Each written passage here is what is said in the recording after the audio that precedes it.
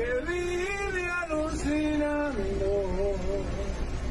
Eso de llamarte por la noche y colgar se me sigue dando.